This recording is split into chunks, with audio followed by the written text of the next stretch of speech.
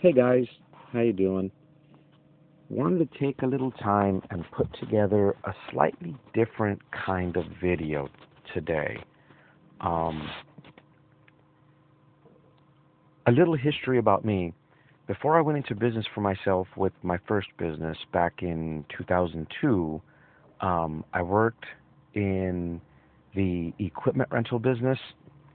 I um, basically we did sales and marketing. Towards the end, I was operations, but I was involved in lots of different aspects. And part of what we did was market analysis, and so we did, you know, analyticals, we did extrapolations, you know, we analyzed market segments and created I guess what you could call almost like a barometer for the industry. And so when we could make direct correlations between a specific segment and a specific type of equipment utilization within the company, or even not equipment utilization, but sometimes um, percentage of revenue. In other words, if if this figure hits this mark, typically our discount structure drops to 10% on average instead of 30%.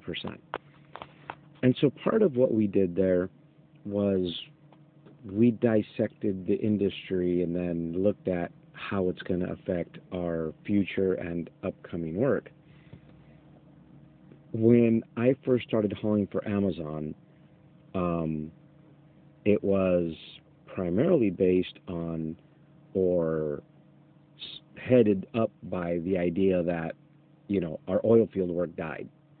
And so you know just as recent as you know 2019 we were operating 20 trucks in the oil field and and generating you know 15,000 plus per week revenue per truck plus other services we provided with hot shots and, and other other services that were unrelated to trucking. Um, we we offered basically if they were willing to pay, we were willing to do it. Anyway, and so when I first started hauling for Amazon, the the first key element I discovered was, you know, their prices change. You know, it's kind of like an algorithm that's built into it and I'm sure by now several of you know. If you've watched any of my videos and you didn't know before, I'm sure you know now. The, the stuff that's going to move, you know, tonight or first thing in the morning over the next few hours, the rate's going to go up. But the other thing that I discovered was you can, as a barometer to what's going to happen, you can see one segment and it has a direct relationship to the other.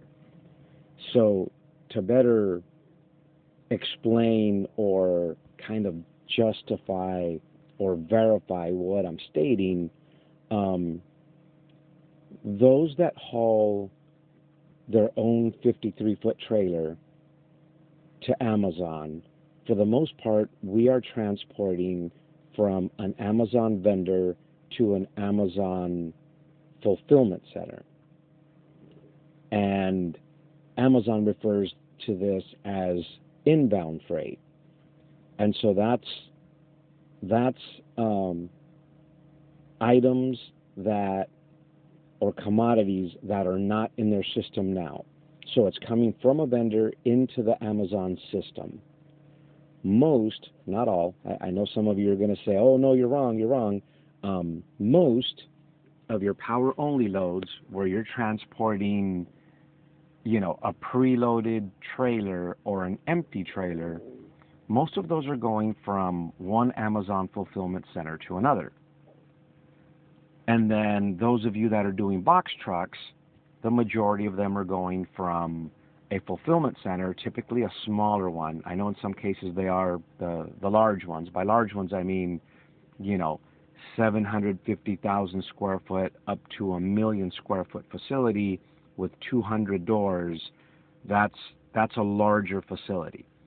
And so a lot of those facilities in that size, actually don't have um, your box truck operation, they they tend to leave that to your smaller ones, and so this is kind of how it works.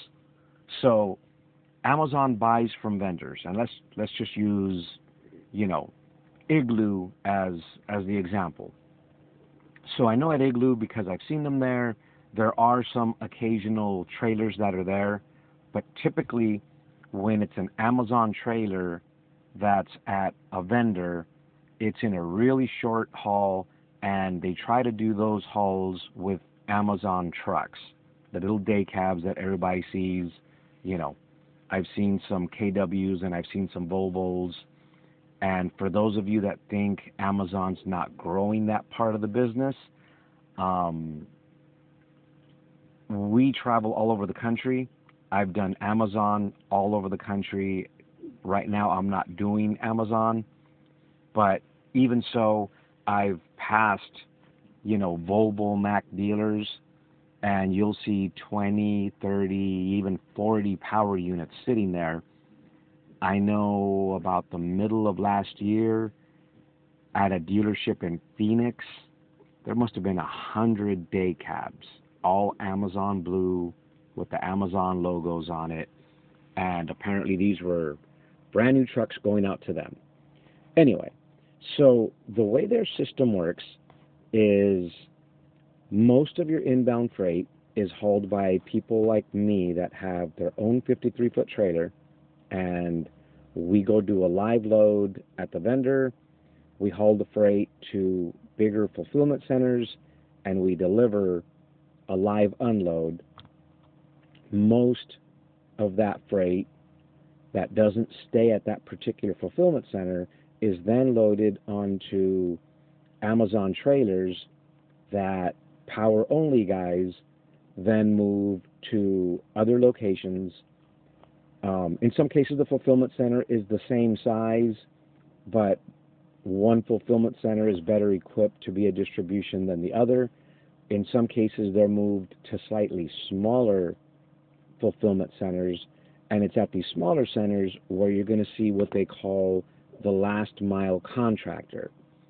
And so your last mile service ends up being, in some cases, the blue vans with, you know, the stripe on it. Those are all independent small companies with like 10 vans. And then the other thing you see there is individuals that are paid a fixed price per hour and you know it includes they use their own car so that's kind of how Amazon structures or their infrastructure is set up to handle freight from inbound to delivery. Anyway, so for those of you guys that do power only or even the van, a barometer that you want to use, go to any market and select oh, where is it? Under trailer status, select required. Okay? So, what this is going to do, the Ontario market, you know, Southern California is, is a busy market. Um, there are a ton of facilities in the Southern California market, and here's the easiest way to do this.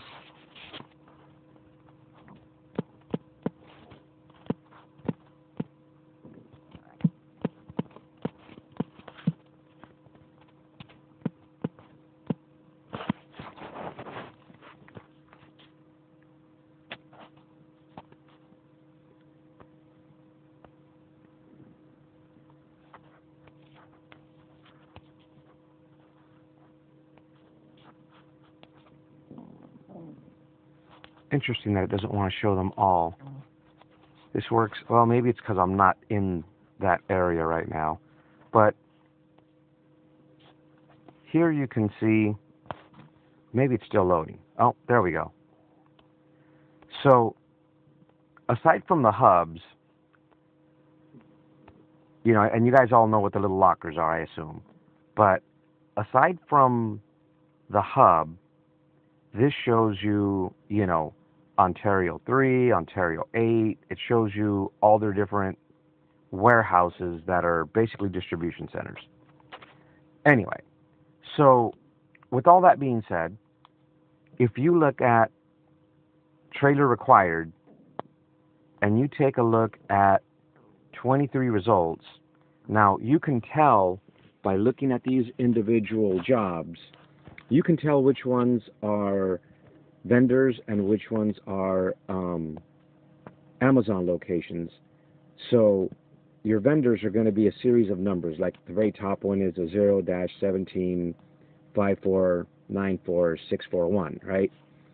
And so that's that's a vendor.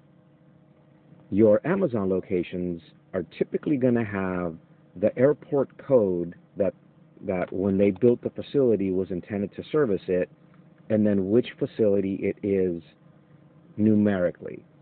And so SCK, I'm going to assume, is an airport um, that's probably in Sacramento area. And so SCK3 is probably the third fulfillment center they built to be serviced by that airport. If you go down one, you know, LGB4, that's probably the fourth facility to be serviced by Airport LGB. So on and so on, right? And so if we look at these loads, you know, we can see how much freight Amazon in the LA market has to what they call inbound. And this has a direct correlation on what the rest of the market or the rest of the Amazon infrastructure is going to do or need based on how many of these loads there are. And so basically, when these start to dry up, you're going to see, you know, systematically, you know, that's that's the last one. You're going to see systematically that the other loads that go with it are also going to taper down so let's switch now from required to provided. Oops. And now you will notice that these are going to have Amazon code as the point of origin and then an Amazon code as your delivery. So like the top one's LAX5 and then, you know, that one's going to LAS2. So LAX is obviously in the LA area. Buena Park's kind of far, but I guess early in their structure you know, Buena Park was still considered LAX. So that's going to Vegas. Anyway, and so as you look at these, um, there's 70 loads in Southern California. Um, that's usually a much higher number. There's usually a lot more loads than that. And so, just from looking at those two figures, I can tell you Southern California for Amazon is not going to be great and that's just how the market's fluctuating. On top of that, if you look at a lot of these, you know the rates are the rates are still pretty low. Um, let's see some of the these are these are set by date, and so the Buena Park to Las Vegas load is set to load at 10 o'clock tonight, and they still have it at $1.91 a mile. I looked at these a little earlier, and it was lower. It was it was like a dollar fifty something. So it went up, how much more it'll go up, I don't know. Um, but I think that's a pretty good barometer of it's going to slow down a little bit in the LA market, which I'm going to say by association, you're going to see that across the board. And so let's turn off the provided, and now we'll look at the dry, uh, the not the drive and the um, 26 foot truck. Now, it shows zero. I don't have a whole lot of experience with those. I don't do them. I don't use them. It's very possible those don't load until later tonight, maybe even at midnight. And so it could be they don't have any because they haven't loaded them yet, or it could be they don't have any because everyone saw it looked thin and people just grabbed up loads so they would have something. Um, that's that's my take on it that's kind of how I learned to read and understand how Amazon functions. And, you know, just for the sake of, I don't want to call it an argument, but for the sake of curiosity, you know, Dallas is a busy market for for uh, Amazon. I before would have spent a week easy running between Dallas and Memphis and have loads every day. So, you know, they have no 26 footers. It's still very possible some are going to load later tonight. I'm not saying it's not. Anyway, so the 26 footers are typically used. I don't. I don't think I got to that part of the of the infrastructure. So you have your last mile contractors. The 26 footers typically deliver to outlying areas where Amazon does not have a last mile contractor facility and they use the postal service for that. So overnight they deliver, you know, packages that are to be delivered by that specific zip code and they deliver it directly to the post office in time for it to be sorted, put on on the the the US Postal Service van and then it gets taken out to your home or your home, you know, your your friend's home or your place of business or whatever. So here we're looking at um, oh hell, that's that's all trailers. So there's eight in Dallas. And so we don't really need, even need to split these up. There's a total of eight loads on the board for Dallas. And so if I were if I were only interested in doing Amazon, and I think Amazon's banking on this, those of you guys that haven't, you know, spread it, spread your eggs out and put them in more than one basket, and you're only working with Amazon, what Amazon is doing is they are doing contracts, short-term contracts, and they are doing them really cheap. So they are counting on you guys to take these contracts which, you know, this particular one is a team load, 119 hour block, one truck, two drivers, and it pays 8600 bucks and they're probably going to run you a thousand miles a day for six days.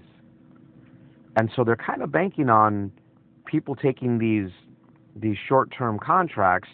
You know, here's here's an example. LAS, we had that that discussion earlier. So LAS is Las Vegas. So this is Las Vegas, a Solar One, 13 hour blocks, which pretty much means you go to work for a full shift. Um, there's five blocks in the week, and they're going to pay you 5.89 a day. So in a week, you're going to make 29.45. Um, I'm sitting outside of a receiver right now. I picked up a load Friday night and I hauled it 1,400 miles, and I'm getting $3,000, guys. I'm going to have the whole rest of the week to make more money. These contracts don't make sense. They're, they're, they're not fruitful. If for some reason you're stuck and you're dedicated only to Amazon, you need to start looking for a way out of that. I'm in I'm in Paris, Arkansas at the moment. Um, so let's look at Memphis. Memphis is a really good freight area, but again, with no filters, there's a total of 21 loads. Um, you know, trailer required, trailer required, and the rates at least aren't too bad. Uh, the rates have always been better under trailer required. Um, that's just kind of the way Amazon's worked. Now, a little later on, I'm not sure if something's going to come up and they're going to dump 30, 40, 50 loads on these particular boards. But um, I'm just pointing out what I see as a little bit on the obvious side. Like here's a load going back towards Dallas. I used to take these all day long, um, but not at a buck 85. If you wait on that one, um, the biggest problem is its load time isn't till 12:30 tomorrow, so a bunch of people are going to be awake when that one hits its critical point. if this load were to load at like seven in the morning, you know, three or four in the morning, this load would probably hit fifteen to sixteen hundred dollars. Um, for under five hundred miles, that's that's in the three dollar a mile range. You know, that's that's a doable rate. Of course, FTW1 is a disaster. You're going to be there all night, yada yada yada, but you'll make your 1500 bucks for the day. Anyways, guys, I'm not trying to be the the party pooper or the one to stress everyone out, but when I first started hauling for Amazon, I studied them, I figured them out. Um, I know they're ever changing, ever evolving, and so on, but I made it a point to extrapolate data. I, I created multiple spreadsheets where we were we were physically cutting and pasting stuff off of these particular boards so we could learn what the patterns were and, and how things work. Um, I've got a 26 year old nephew that works for me. He's pretty sharp, and you know, I had him put some of this stuff together, and then with filters, we would we would dissect this thing. And um, you know, when the third or the fourth quarter hit, and they were offering the contracts, and they were as cheap as they were, we immediately noticed a lot of loads disappeared from spot market, and you know, we made a shift. We made a shift. Um, I'm using a dispatch service. You can see it in one of my other videos. I'm not going to say anything here because then they won't let me post this particular uh, video on the load board because then it would be advertising or considered spam. And I'm trying to make these videos helpful to you guys. Anyway, um, for those of you that have access to the load board, start trying to figure out how to analyze and compare. You know, if you're doing power only, keep an eye on, you know, the the trailer required loads, and you'll start to notice a, a direct correlation. It slows, you slow, and then the the vans, you know, the same thing happens. If there's less inbound freight, you know, there there isn't as much being consumed. Amazon's system is almost miraculous in how it works. You know, the minute someone clicks, you know, buy it with one click or whatever, their system starts to place an order to bring more freight in so that it doesn't get caught behind a curve. And so it's a pretty immediate reaction when you don't see inbound freight at a facility.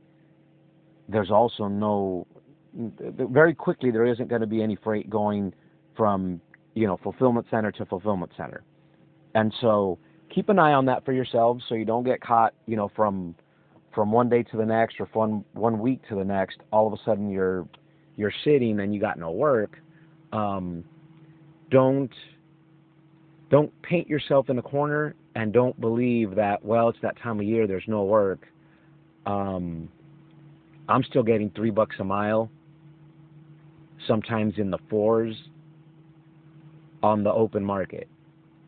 It, it's not a matter of, you know, stick with Amazon because they have work every day. What's happening is as these loads start to deteriorate and degrade, people are going to start booking their loads earlier so they have them. Amazon knows this, and that's why they've been lowering the rates. Because if you today book a load for next Wednesday, you're going to book it at a dollar twenty-five a mile, a dollar forty a mile and there's no money in that. You're you're you know you're paying yourself in a corner in another direction. But anyway, just wanted to share something I noticed. Um, I actually noticed it last night. Um, I set the phone down because I had to get to sleep. I, I drove through most of the night to make my to make my uh, delivery for for where I'm at now. I wanted some free time today. But anyways, I wanted to take a little time, put together this video, not trying to depress anyone, but just be aware that's that's what I see happening at Amazon. There's there's other options out there. You guys should start stirring the pot and see where else you can move your equipment. Um, I'm not saying there isn't going to be any work, but it's going to get really cheap really quick. Anyway, thanks for watching.